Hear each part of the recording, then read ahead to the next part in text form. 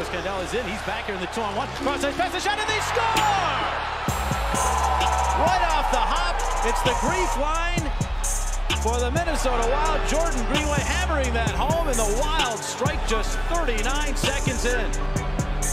First shift of the game, they're up in the play, and Parayko here anticipates but doesn't get stick on puck.